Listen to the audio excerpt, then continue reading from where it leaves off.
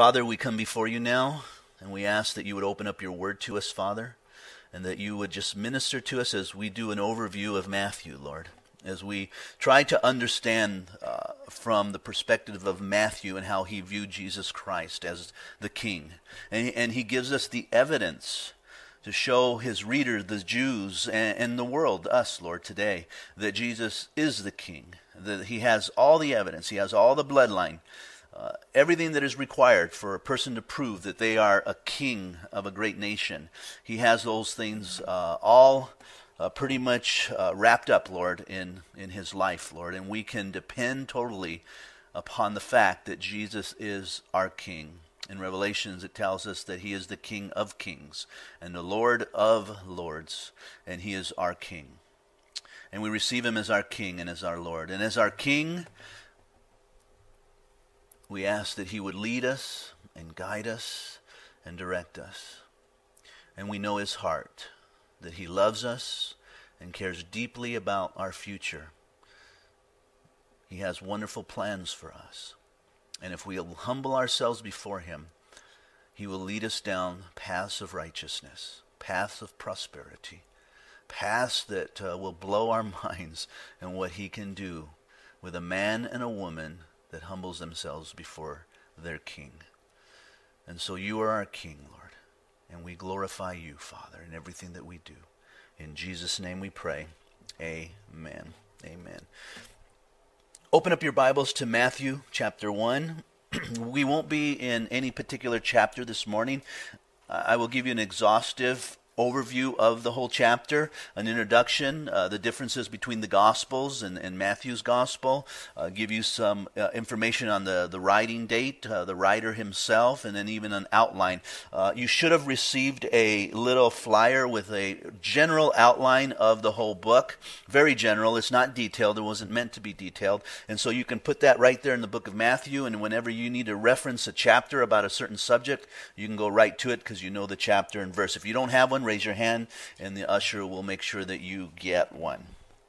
So let's go ahead and, and look at the book of Matthew. Now, what I find interesting um, is that Matthew presents Jesus as a king. And, and as I was preparing this, this subject on the introduction of Matthew, I always want to have an introduction.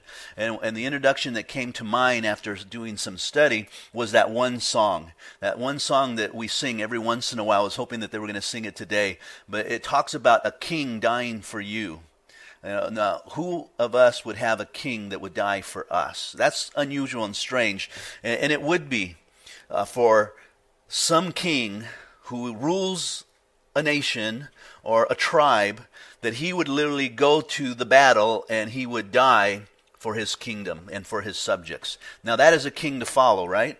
And that is our king, Jesus Christ. He is a king. Now, we're talking an earthly king in the sense from the line of David being a king over the children of Israel's or over the Jews. Now, he was a he was God in heaven uh, part of the triunity of Father, Son, and Holy Spirit, and he was basically titled as God or Lord or Jehovah or I am. But he came to earth and he became man, and God gave him the title of king through the line of David. And he is a king that would die for us. That truth changed my life. That truth caused me to love Jesus Christ because I've never had a person die for me. I've never had a person give up his own reputation or himself for me except Jesus Christ. And when I look at him and what he has done for me, that humbles me. And it makes me desire to glorify him in any way that I can because he literally came to this earth and he suffered at the hands of humanity. He laid my sins upon him and he took my death, my penalty, and my place so that I could have eternal life. And that's awesome to think about. That's awesome to think about.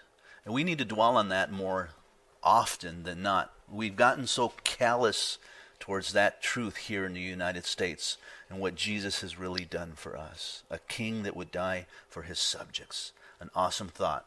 Meditate upon that this week as you're reading the book of Matthew.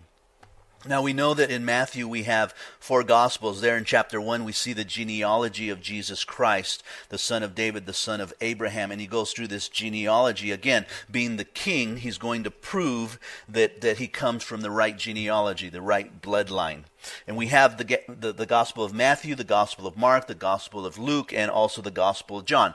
Four gospels giving the same message, the message of the good news. Now, the four Gospels record the human ancestry, the birth and the resurrection, and the ascension of Jesus Christ. They record the earthly ministry, while John, in his Gospel, adds to his heavenly existence. Uh, the Gospel of John, which is the last one, of the four is the one that shows Jesus as God. the very first verse, he immediately uh, puts him in the heavenlies, eternal state. Uh, he's the only gospel that does that. There are no other inspired writings but the Gospels of Matthew, Mark, Luke, and John. We just don't have any others. Now, there have been others who have tried to creep into, into the church or into our society to disprove the four Gospels that are here, like the Gospel of Thomas. There's a Gospel of Thomas out there, and apparently they're trying to push that into the, the, the Scriptures as being another Gospel of Jesus Christ, but it's not another gospel. It was written way, way beyond uh, the time of Christ. It has nothing to do with, with what happened with Christ. And you read it, there are so many mistakes and so many differences that it's just outlandish. You would just discard that gospel completely. No, the four gospels are complete right here. Now, there are historical documents about Jesus Christ. We have in hand historical documents that Jesus Christ and his disciples really existed by historians who weren't Christians, like Josephus. He writes about just Jesus and he writes about uh, his disciples. Uh, I believe it's Tychicus, it's or Tacitus, T A C I T U S, another historian who also writes about Jesus and his disciples and literally mentions uh, their names in some of his writings. Now, Jesus is king in Matthew. When, G- when Matthew presents Jesus, he presents him as a king through the line of David. So Matthew wrote to Jewish people to help them understand that their Messiah would be a king through the line of David, just as he had uh, promised he would be. So he has a lot of Old Testament passages predicting the specific things that the Messiah would do. Matthew points out how Jesus of Nazareth did those things, and therefore Jesus uh, promised. He's the promised Messiah, and Matthew often shows Jesus fulfilling Old Testament uh, prophecies. And we see that in chapter 1, right here in, in the genealogy and his birth. We see it in chapter 8, chapter 12, chapter 21, and chapter 27. Jesus comes from a, a, royal blood through the line of Mary. You look at the, the genealogy and you see that Mary's in that bloodline. Now, we know what a genealogy is. Uh, we oftentimes look at our own genealogy. You know, I am the son of my father, Lewis, and Lewis is the son of his father, who I don't know his name, and that's as far as my genealogy goes. Now, you go to Virginia's family, and they're into genealogies, and they can trace it all the way back to, to who know where. I mean, they, they've traced it far back into some interesting stories. Some of them so interesting that you kind of wonder if they're even true because we so, so often want to be a part of something bigger than ourselves. But they can trace the, the bloodline of Mary all the way back to Adam and to King David. Now, what I find interesting is that you have Joseph, who who really did not participate in the birth of Christ. All that in the only thing that he really did was be the, the dad, the father, earthly father uh, to Jesus, but he really had no participation in the birth of Jesus Christ. He was not connected in any way because we know the virgin birth was the Holy Spirit laid the seed into Mary's uh, womb, and then Jesus was born through Mary. And so Jesus was connected to the woman, uh, her bloodline. But yet, when you look at Joseph, God gave him the privilege of also being in the bloodline of David. You can trace his bloodline all the way back to King David. So you have evidence there of Jesus' bloodline traced back through the mother's line, but then also through Joseph's line, right to King David, giving us the evidence that Jesus is a king. Jesus is a king. Now, Jews are really uh, meticulous about keeping genealogies. They love keeping genealogies and keeping everything in order. I, I believe it came from early in the Old Testament when Jesus pulled uh, Israel out of the uh, of the land of Egypt and he began to divide them into tribes. And we know the sons of uh, Jacob uh, became tribes and they were leaders over those tribes and they needed to make sure that they kept track of who was in each tribe. In this case, Matthew is from the tribe of Levi. And so, how do you prove that? Well, you have to keep a good record of genealogies. Well, they've kept such a good record that today they claim that they know who are those that should be priests uh, in the temple that's coming. And they've chosen men who are from the tribe of Levi the, tr- the priestly tribes. And so um, they have them ready to go. When the temple is ready to be built and they begin to offer up sacrifices and so forth, they have the priests ready to step in place just as God has prescribed in the Old Testament, and, and they're often going to please God. And so I find that interesting. And so they're really meticulous in their genealogies. And so as he, they presented here, we can know for a fact that Jesus is a king. Now in Mark, in Mark. Mark's written to Romans, and it's a short book. It's written by Peter. It only contains 16 chapters. Um, it reveals Christ as a servant. And so when you read the book of Mark, you, you see Jesus as a servant. You know, he came and he washed his disciples' feet. He came not to be served, but to serve and to become a ransom for many. And so he, he's viewed as a servant through the eyes of Mark, which if you think about it, you know, it's written to the Romans. The Romans are the ones that are ruling at the time. Uh, they're in power, and God's trying to tell them that you really aren't in power. You really don't understand what true leadership is and w- what true um, dictatorship is. It's one that serves, uh, like the true King, Jesus Christ. He's one that serves. He's not one that dictates. He's not one that governs over his people. He's one that leads his people through example of servanthood. And so Peter writes 16 chapters here in Romans. Uh, they must have had a, a short attention span, just kind of like Americans, you know. So only 16 chapters was enough for them. Now, Luke, Luke looks at it from the perspective of a man. He views Jesus from the point that Jesus was fully man. Now, we know Jesus was God. He lived eternally uh, with the Father, Son, and Holy Spirit in heaven as a triunity. He came to earth and he became man. So he was 100% man, and Luke views him as man. Written to the Greeks, makes sense again. You know, here are the Greeks. The Greeks, the philosophers, you know, they would correlate God as, as being gods that were men or men that became gods and then began to rule, you know, in Zeus and, and all of these Greek mythologies and so forth. And so Luke is trying to get their attention that here's a man who is God, and there is no other God but this man, Jesus Christ. And so these three gospels now, Matthew, Mark, and Luke, are co- called synoptic gospels. In other words, they have the same common view about Jesus Christ. There's some variations and parables, you know, but basically they're, they're giving the same message of who Jesus is. The gospel of John gives the message and presents Jesus also as the Messiah, the King, and so forth, but it adds the deity of Jesus Christ, which I think is probably important. And it makes sense that, um, that John would, would view Jesus as God. And so he presents his gospel to the world as a gospel that reveals God who became flesh and dwelt among us as believers. I think that's probably one of the reasons that it's a highly recommended gospel to read. When you become a new believer, one of the first books that people tell you to read is the John, the Gospel of John, because it presents Jesus as God. He's not just a man. You know, he's not just a Messiah, a great philosopher, a great teacher. He is literally God in the flesh. It's amazing how so many don't believe that. Even in churches, pastors who do not believe that. Because it's a concept and an idea that, that seems way out there that, that God would become a man. It, it doesn't make sense in our eyes. Well, if he's God, he can do anything, first of all, because he is God. And he did become a man. And it's important for us to understand Because if it was just a man, if it was just a good teacher with moral values that has come down to this earth just to give us power and victory over society and those who oppress us and do harm to us, then that's not the kind of man I want to follow. I want to follow something greater than that. And that was one of the things that led me to Christ was the fact that Jesus was God. In fact, I used to have a shirt uh, that I bought when I first got saved, and it said, Jesus is God. And I wore that thing out. It was white, and the letters were green, and it clearly spelled out, Jesus is God. And I had it all over my car and bumper stickers, all over my Bible, because that was important to me.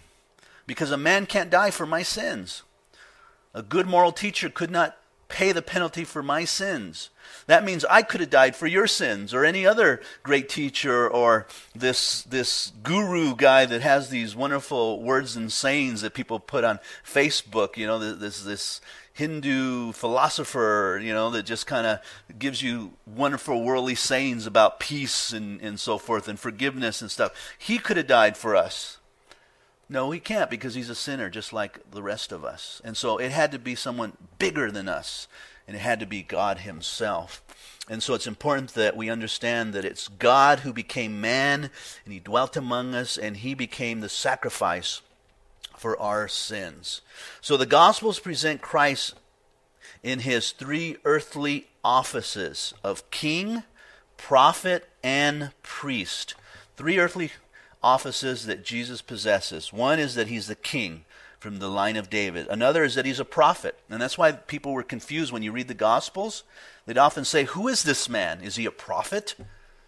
And they thought he was an Old Testament prophet bringing the news of God. Or that he was a priest uh, after the order of Melchizedek, as uh, Paul says in Hebrews chapter 7. A high priest, uh, one who would bring uh, offerings and sacrifices unto God's people. Uh, the prophet is God's representative to his people. The priest is the people's representative uh, to God. And so Jesus would stand in that place as a priest.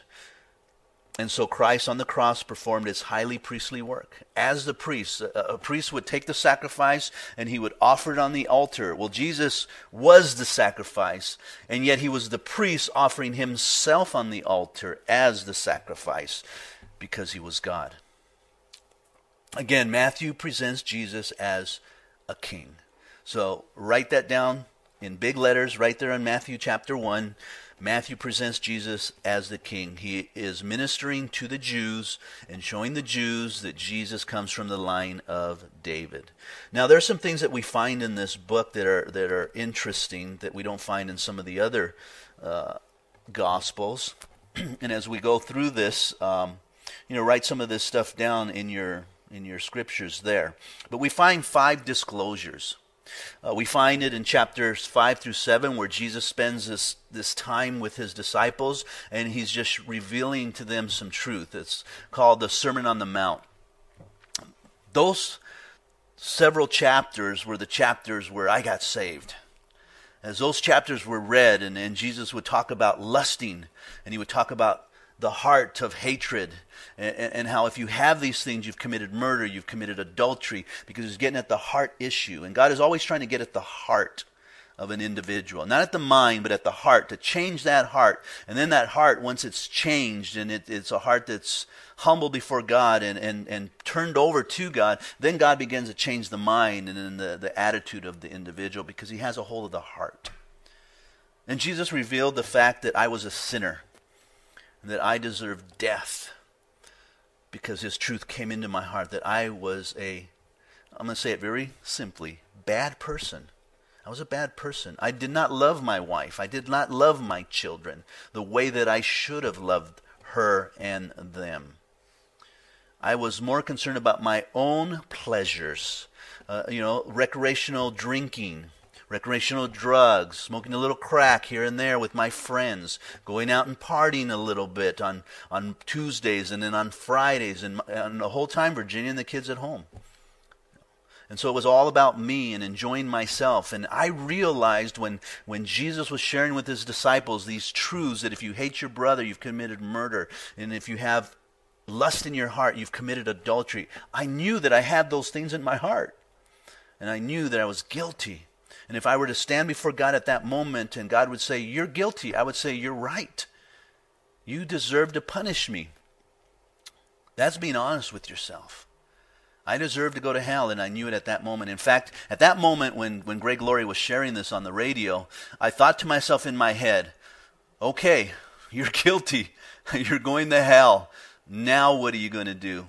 And I thought in my head, within the, you know how you can think so quickly within a few seconds of time, all your whole life just kind of you know, is just viewed in front of you. And I thought to myself, well, I'm going to hell, so I might as well enjoy myself as much as I can before I go to hell, because I'm going to hell anyway. And I knew it. And so I, I had all these plans already within a few seconds that I was going to hell, and, and I was just going to enjoy life as much as I could. I was making more money than I ever had before. I started a job with Southern California Edison. Money was pouring in, and, and I just thought, I'm just going to enjoy myself. And then all of a sudden, at the end of the message, Gray, uh, Pastor um, Greg Laurie gave the hope that Jesus came to make a way for you to heaven through the death of his son Jesus Christ. And I heard that, I'm like, oh, wow.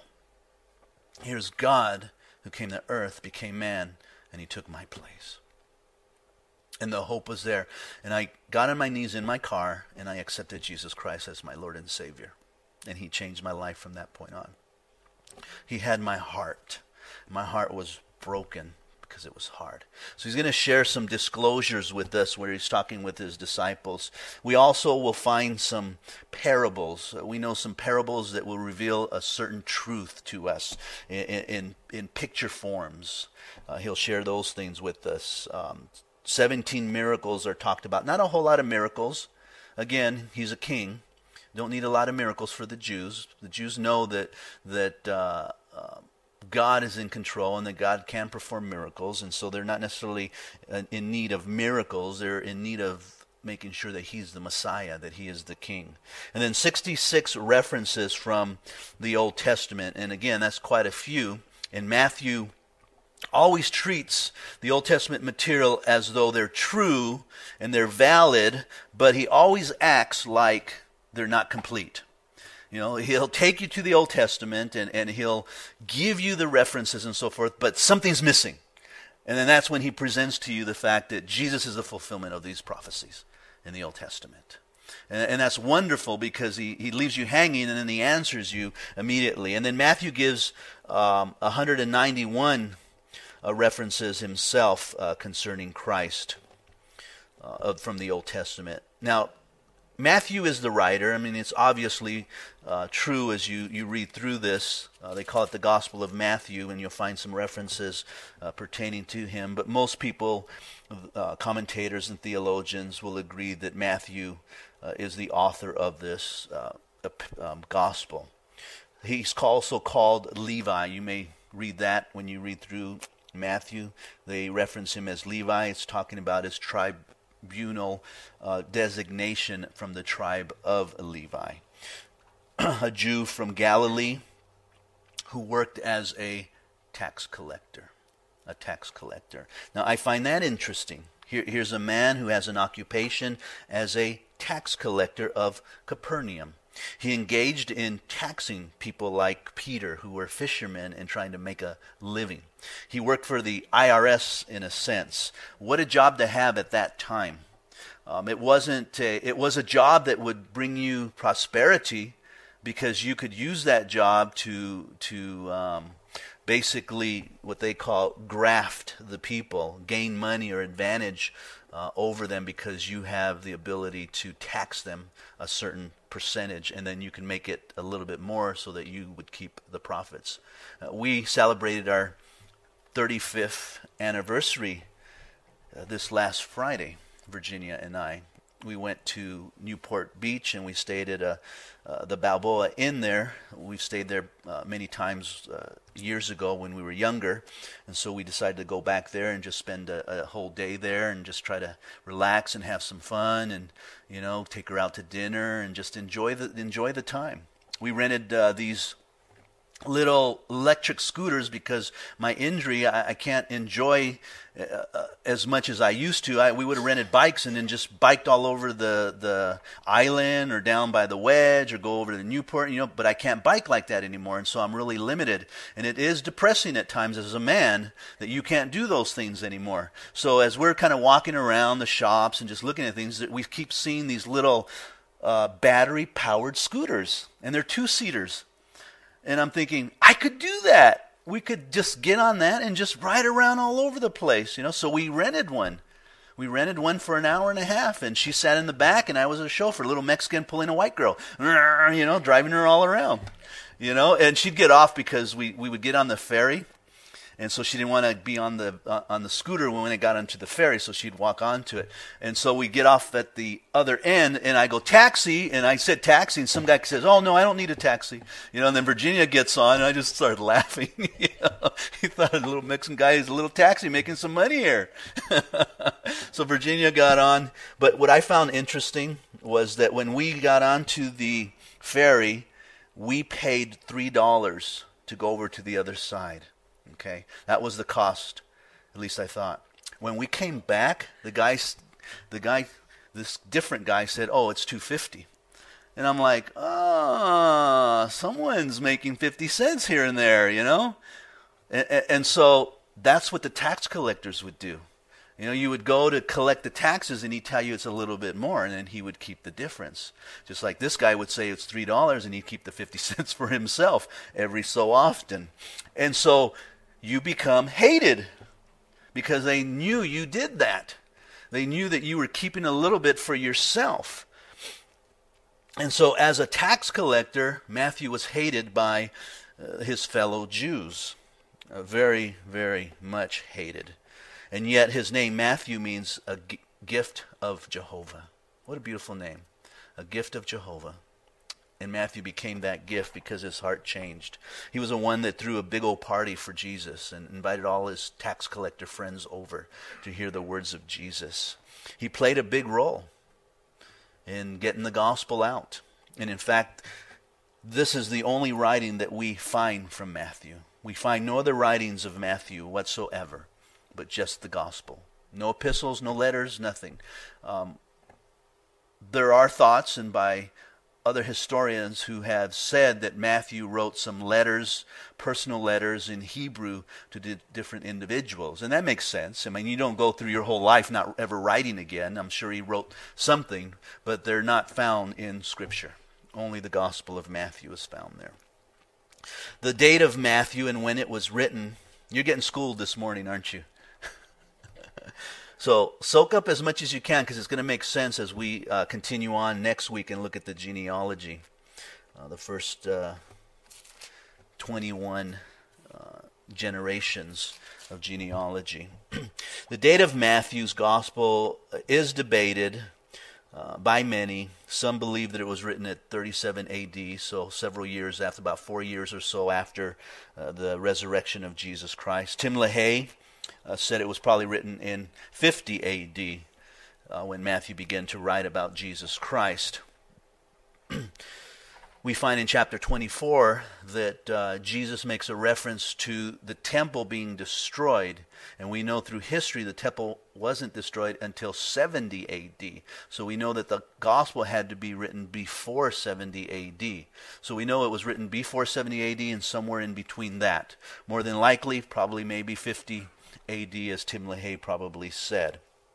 Um, Ussher uh, says that um, it covers a, a, period of 38 years, 38 years uh, of Jesus' life and also of the disciples' uh, call and commission to go out.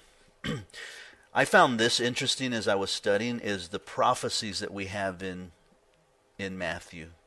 They say that about two thirds of the scriptures are prophetic. There's a lot of prophecies in there. And that it's uh, evidence that the word is God's word and proven by the prophecies being fulfilled. When you look at Matthew, 26% of Matthew is prophetic. Only 26%.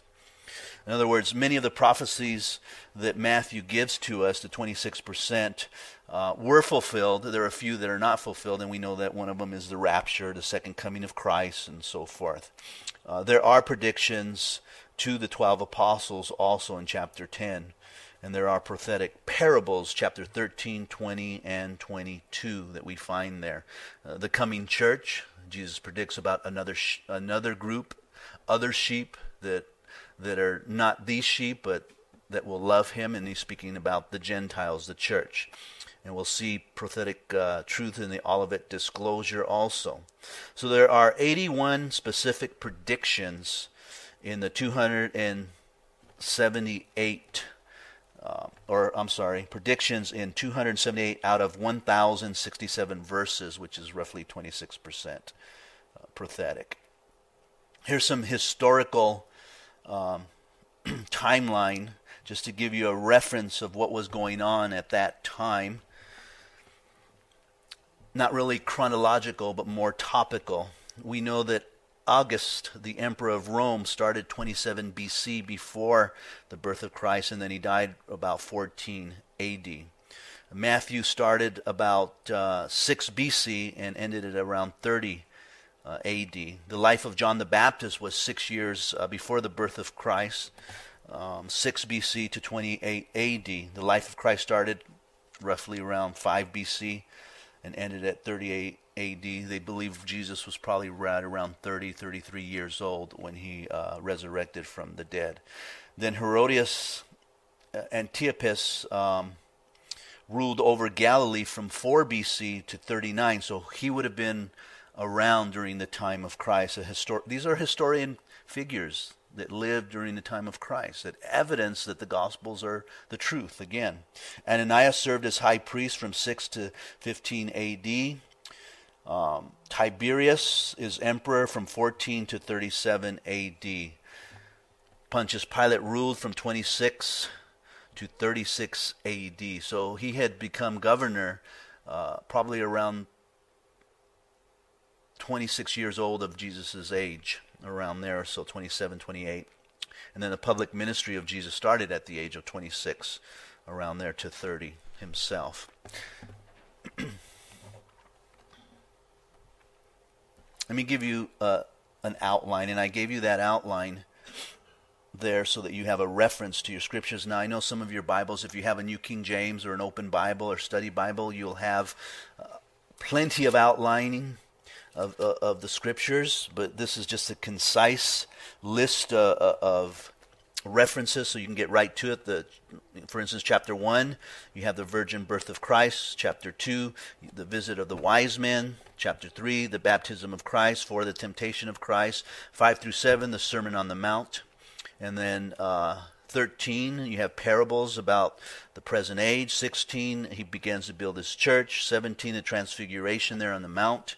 And then 20, 21, Palm Sunday. Let me just talk a little bit about that Palm Sunday, and we'll probably, I don't think we'll get there this coming uh, Palm Sunday, but Palm Sunday, when you, you read about that story, it was a, it was a radical thing for Jesus to enter into Jerusalem like that and then to cause so much havoc. I mean, that, that's a man that, that's ready to, to fight a battle and fight in a war. A man who's presenting himself as the Messiah, as prophesied from Zacharias uh, 9 9, I believe it was, or 6 9. Um, walking into Jerusalem uh, as the Lamb of God, and the people hailing and, and proclaiming and throwing palm branches before him. That's a radical thing to take place in someone's life when you really think about it. You know, we, we hear so often that Jesus is a man of love, and he is. For God so loved the world that he gave his only begotten Son, that whoever believes in him would not perish but have everlasting life. And Jesus is a loving guy. Uh, and he has nothing but love for us. But he is also a guy that will bring judgment. He's also a guy that stands for righteousness. He's also a guy that's ready to stand up and fight if he needs to he entered into the temple there, and one of the first things he did, he looked around and he was disgusted in what the leadership was doing. He was disgusted in what they were doing with the with the um, the lambs and how they were deceiving the people and charging them uh, more for the sacrifices. He was disgusted that the money changers were in a house of prayer. And he picked up, they said, uh, a rope of some kind, and he began to whip and to turn over money changing tables and, and really show, show his man side and his humanity and his frustration with humanity. Uh, he was angry, in a sense. Righteous indignation. That's righteous indignation. And that's something that we don't see a lot within the church. We're so accustomed to to wanting to just experience the love of God, the kindness of God, and, and not really get into the warfare that God has us in. I'm going to read to you something that I thought was interesting.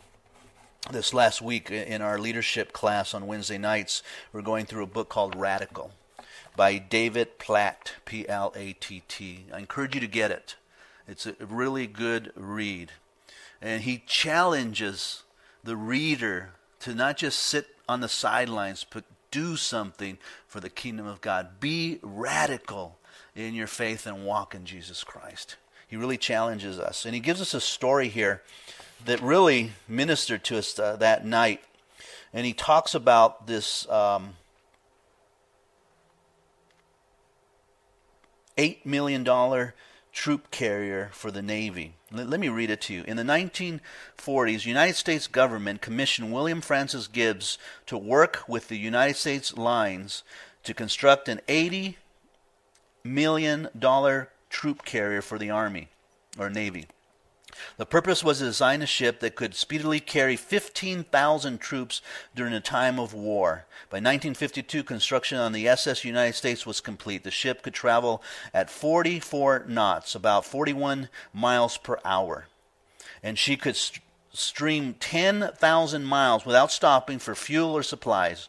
She could outrun any ship and travel nonstop anywhere in the world in less than 10 days. The USS United States was the fastest and most reliable troop carrier in the world. The only catch is she never carried troops. At least not in any official capacity. The ship was put on standby once and during uh, Columbia missile crisis in 1962, but otherwise, she was never used in all her capacity by the U.S. Navy.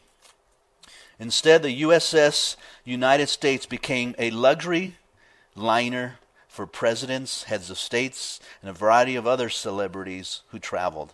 On her, on her during her 17 year of service as a deluxe liner, she couldn't carry 15 she could carry 15,000 people. Instead, she could house just under 2,000 passengers. Those passengers could enjoy a luxury of 695 staterooms, four dining salons, three bars, two theaters, five acres of open deck with heated pools. 19 elevators, and the comfort of the world's finest fully air conditioned passenger ship. Instead of a vessel used for battle during wartime, the USS United States became a means of indulgence for wealthy patrons who desired to coast peacefully across the Atlantic. What a story, huh? This is what he says. When you think about the history of this USS United States, you wonder if there's something it could teach us about the history of the church. The church is like the USS United States, has been designed for battle. The purpose of the church is to mobilize a people to accomplish the mission. Yet, we seem to have turned the church as troops carried into the church as luxury liners. We seem to have organized ourselves not to engage in battle for the souls of people around the world, but to indulge ourselves in the peaceful comfort of the world. That's a challenge, isn't it? One of the reasons that we are hosting Thanksgiving on Thanksgiving Day because it costs something. It costs something. It costs Jesus something to enter into Jerusalem there. It should cost us something to be Christians. We don't like to pay for our Christianity. We would rather be given our Christianity, and we have through the death of Jesus Christ. It cost him for our eternal life. But we don't like giving up. We don't like the discomfort. I shared again on Wednesday how I read an article about adoption. And, and from the perspective of this sister who was born into the family, she wrote about how she hated adoption. But at the end of the story, and, and, the reason she hated it because of all the name calling, all the fighting, all the attention that was given to the adopted kids and not her, and so she hated adoption. But at the end of the story, she concludes that adoption is something that's needed, even though it brings suffering for some. And she was willing to go through the suffering for the betterment of others or for at least the gospel to be preached even for those kids that never had a chance. So she accepts adoption and its suffering as a good thing. And though she hates it because she experienced it, but she understands it's a good suffering to have. And we need to understand that truth that suffering and receiving the things of God sometimes comes through suffering, through pain. And we need to rejoice that those are good things. You know, those are good things. That, yeah, it's on Thanksgiving Day that we'll be here and we'll be serving people that normally don't come here, that, that don't contribute, that don't really have, you know, the ability to, that maybe some will be welchers, some, some, some have struggles, some are, you know, uh, uh, angry and upset, and some might even bring their families, and there's all kinds of chaos there, but we'll be serving them anyway. It may cost us something but we're doing it because it's a good thing to show that Jesus loves them. Jesus cares about them. And it costs us something. It costs us to be a father. It costs us to be a mother, to be in a family that desires to serve God. Yeah, it will cost you. You will suffer. But it's needed and costly suffering that we should embrace because we see the greater in all that suffering, the work of Christ. And God saw that in Palm Sunday as Jesus entered into Jerusalem. And so we'll look at that as we go through the gospel. 24 through 25, uh, Jesus gives predictions about the second coming. He talks a lot about what the end time will be like. And of course, chapter 27 and 28 talk about his crucifixion and resurrection. When we break this up, we'll literally find the person of Jesus Christ in chapters 1 through 4. Who is Jesus? Where did he come from? What's the evidence that he is the king? We'll see his genealogy, his, his uh, Galilean ministry, and where he started. And then in 4 through 16, we have the ministry and message of Jesus Christ. He, he will be ministering to his disciples, he will give us the message. Uh, whether it's it's ministering to disciples truths that they should live by, parables and and so forth, or whether it's feeding of the crowds of five thousands. And then from 16 to 20, we see the mysteries and revelation of Jesus Christ. Uh, the declaration by Peter that, oh, you know, you are the Christ. You know, you are the Son of God. Uh, the mysteries are, are being unfolded before their eyes. They're, they're coming to know that Jesus is more than just a man, more than someone that's going to set up a, a system that's going to fight against government, because Jesus didn't come to do that. He didn't come to give us a system to fight against government or to fight against anybody. He gave us a system to serve and to show that Jesus came to serve and to seek and save those that were lost, to present the gospel message to them. And that's how you get the system down, by presenting the gospel, the, the gospel of peace and love. You know, Jesus said of the, of the Romans, when you go to Mark, and he talks about how the Romans would, would ask you to walk a mile they carry their, their gear and so forth. And this was required by law. If they saw you walking down the street and the Romans were walking and, and they needed someone to carry their gear for a mile, you were required to carry their gear for a mile. And Jesus said, That's required of you. He says, But as a believer, I want you to go more than that. I want you to understand Christianity cost us something. Uh, Christianity means suffering a little bit for the sake of others. So instead of carrying it one mile, I want you to go two miles. So go beyond what they require you. And that's what Christianity is about going beyond what people require you, doing the best at what God has given to you. And so if you walk one mile, they'll give you, uh, you'll give them back the gear and they'll say thank you for what you've done. And you stop them and say, no, no, I'm going to go another mile. And they're going to say, what? Why would you go another mile? That's not required of you. No, because I want to go another mile. I'll carry your gear for another mile. That's strange. Why would you do that? Well, let me tell you why I would do that. Because my Savior did that.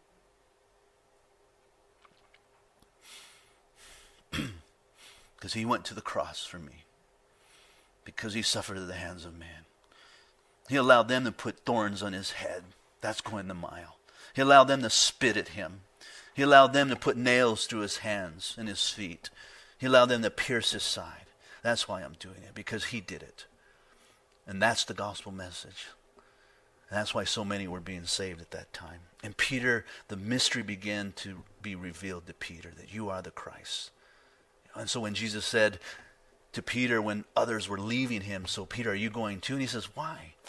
I don't have anywhere to go. You're the one with the words of eternal life. I have nowhere to go in this world. I, I come to you. I don't understand everything, but I'm going to come to you and I'll continue to come to you.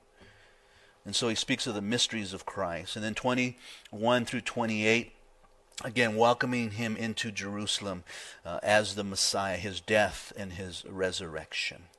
Let me close. The story in Matthew is about a king. And this king loves you so much. He gave his life so that you could have eternal life. This message is not just for the Jews, but it's for all mankind. That we have a king who would die for us. That is a king to follow. That is a king that you can trust with your whole life. If you don't know Jesus Christ as your personal Savior, you need to ask Him into your heart. You need to ask Him to be your king and to rule over you and I, I literally mean in, in the literal sense, rule over you guys. I don't mean in the in the spiritual sense, uh, where we feel spiritual and we feel good when we pray that Lord rule over me, and then real in reality we don't mean it. I literally mean let Him rule over you, and you follow Him. That's the cost to follow this King.